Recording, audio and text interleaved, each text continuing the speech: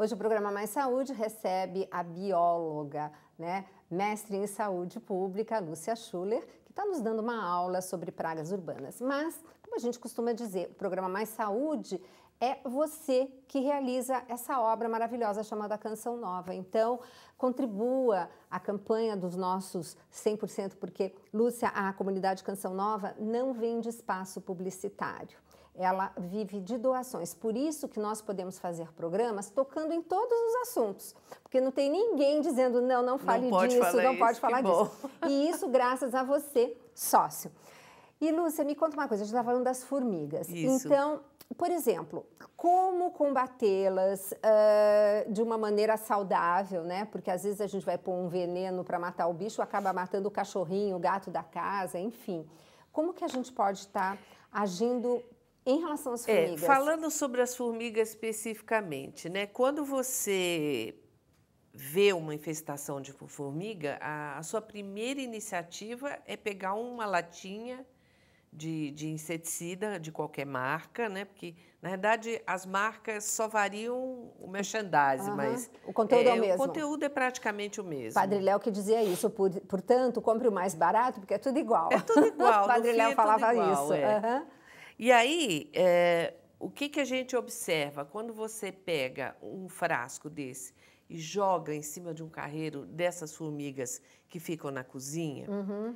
é, lembrando que a quantidade de formigas que você vê efetivamente andando, ela corresponde a apenas 5% do total de formigas do formigueiro. Né? Nossa. Né? Então, é, a, a, gente chama isso de formigas forrageiras, quer dizer, são as formigas que vão buscar alimento. O Elas localizam. Ele fica próximo da onde estão as formigas? Exatamente. Ele não fica muito distante. Uhum. Dentro de um ambiente urbano, essa formiga é uma formiga saúva, ela Sim. tem é, condições, ela ocupa espaços um pouco diferentes tá. e cada vez mais próximos da cidade. Né? Uhum. Mas voltando a falar da formiga que vive na cozinha, ela vai se infiltrar em azulejo, em tomada, em Frestas. fresta, em rachaduras. Tá. Ela fica ali. É, eu não sei se você já observou, antigamente, quando você aplicava azulejo na cozinha, você jogava um tanto de massa no meio de azulejo e assentava o azulejo na parede. Uhum. Então, quando você juntava vários azulejos, ficava aquela bola de massa no meio e alguns espaços ah, tá. Uhum. entre os azulejos. É certo. É nesses espaços, porque ainda tem muito azulejo tem. antigo, né? Tem, tem. Então, nesses espaços é que as formigas entram. E elas formam colônias pequenas. Assim, em espaço físico, elas ocupam esse espaço aqui. Tá. Não é mais do que isso. Aqui uhum. dá duas mil formigas. Uhum. Elas são muito pequenas, uhum. né? E aí você imagina, você tem numa cozinha um formigueiro e as 5% delas estão buscando alimento. Aí você vê as formigas, você pega uma lata de spray e joga em cima dessas formigas. Uhum. O que, que isso vai representar para elas? Um tsunami, uma coisa gravíssima, que está com um cataclisma que está acontecendo para elas. Mas elas têm um recurso. Como elas têm uma característica diferente do caso da saúva, elas não têm só uma rainha, elas têm várias rainhas. Ah.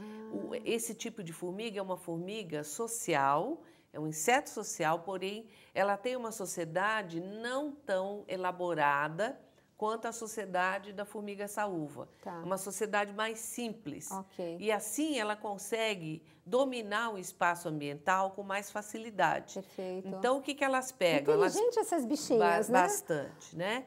Então, elas pegam grupos é, com rainhas e operárias e se dividem. Aquele formigueiro que antes ocupava esse espaço, ele se divide para ocupar espaços longe daquele cataclisma. Conclusão, a gente tá Conclusão, tá... você amplia o teu problema ao invés de você restringir. E como que a gente pode então, então a restringir? técnica é, a técnica é, primeiro, observação. Você não pode combater uma praga, um bicho, sem você conhecer aquele bicho.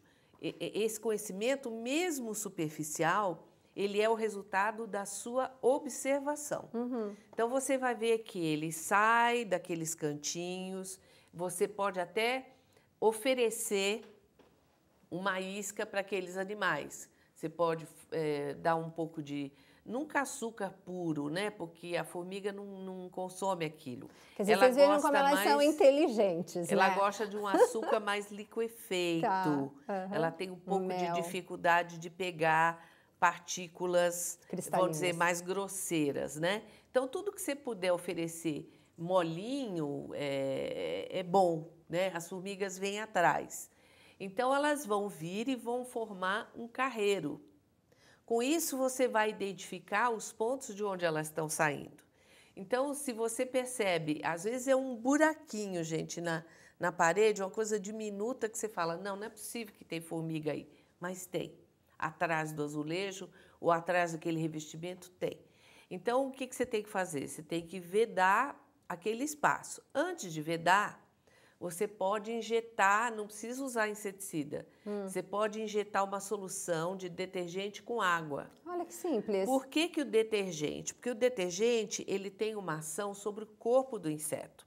O corpo do inseto ele é composto de várias coisas, inclusive de um material oleoso, de uma espécie de uma cera protetora, hum. que impede que o inseto perca toda a água que ele tem dentro dele. Gente, é lindo, né? né? É, é, é, apaixonante mesmo. Porque a gente vê a gente fica até com dó, né? né? Como é que é. o homem. Não. Você sabe que quando eu estudei biologia, que eu vi que mitocôndria tinha em tudo que era a célula de todos os animais, eu passei a respeitar tudo com muito mais, assim, olhando assim com outros olhos quando estudamos, né? É, isso é, é importante. Você tocou num ponto importante da educação que a gente está acostumado e a, a, não respeitar todos os organismos. Exato. Né? Por isso que está tudo desse jeito. É, inclusive, agora está acontecendo uma perda de abelhas no mundo inteiro. Verdade. Uma Verdade. Isso está muito séria. Eu acho que a gente podia fazer uma pauta sobre isso. Eu já fiz muito uma pauta séria. aqui com José Bacite para mostrar o quanto as abelhas são maravilhosas. Está lá disponível no blog.cançãonova.com/barra mais saúde,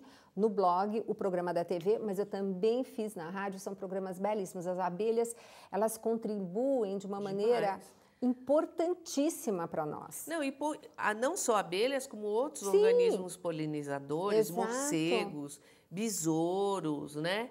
É, todos eles têm uma função importante. Então a gente tem que olhar uhum. a natureza de uma outra forma, porque a gente é só mais um organismo. Exato. Nós não somos os chefes dos organismos. Ah, não, a gente o faz parte precisa, de um ecossistema, claro. A gente faz parte disso. Uhum, uhum. Então a gente tem que respeitar os organismos, assim como a gente tem que respeitar as pessoas, né? Então isso que falta essa educação. Né? Então, voltando a falar das formigas, detergente você coloca o detergente, você dissolve aquela camada protetora. E aí a formiga disseca, desidrata. É, desidrata, perde aquela água. Uhum. E você não precisou usar nada. E aí, para fechar, você pode fechar com sabão.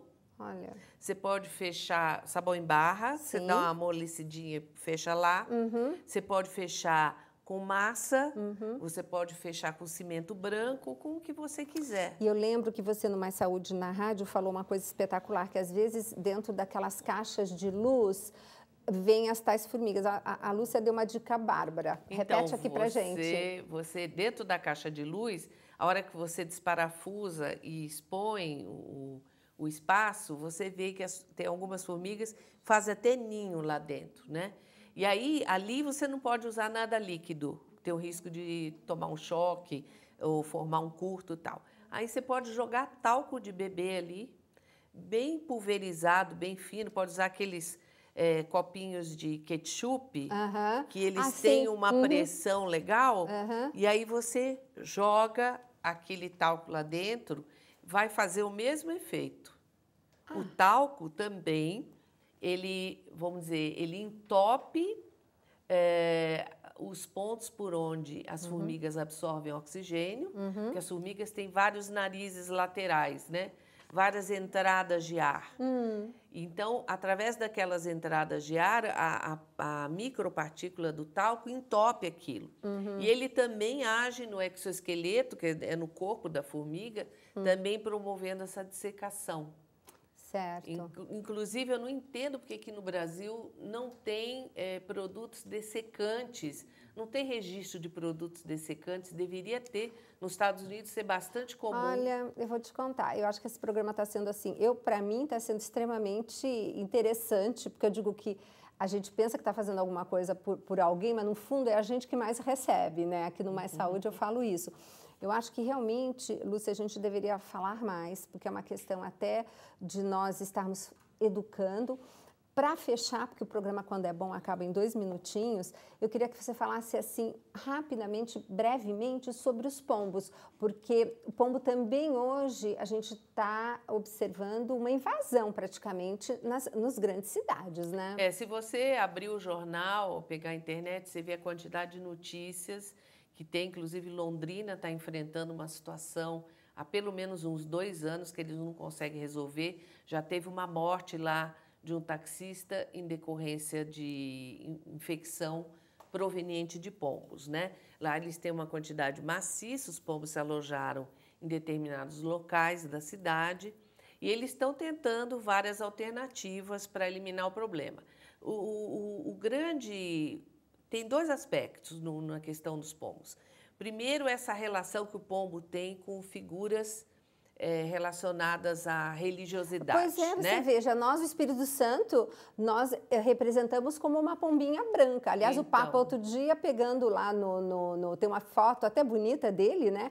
No Vaticano, uh, com uma pombinha vindo no dedo dele. Mas é ver que a pomba europeia não é que nem a nossa pomba, que de repente está tão contaminada, não sei. Não, é, todas as todas pombas têm o mesmo tipo de contaminação, todos os pássaros, os pardais, uhum. todos os pássaros. Tá. É, a questão é o excreta, o, o resíduo desse animal, né? Uhum. Ele tem um resíduo semissólido, e aí esse resíduo ele pode estar contaminado com fungo ou pode ser contaminado quando ele é liberado no ambiente. Então, uhum. você anda numa praça, uhum. você vê o piso da praça assim cheio daqueles pontos esbranquiçados, Sim. né?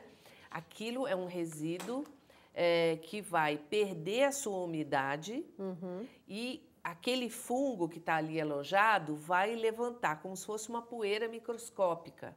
E aquela poeira vai passar pelo sistema respiratório, porque a gente não tem defesa contra aquela poeira e a gente se contamina. E a Lúcia tem um livro também super interessante que vai estar lá, mas lá no Mais Saúde, você vai lá no Mais Saúde na rádio e a gente vai tá sortear. Tá gente, um beijo grande, fiquem com Deus e até o próximo Mais Saúde.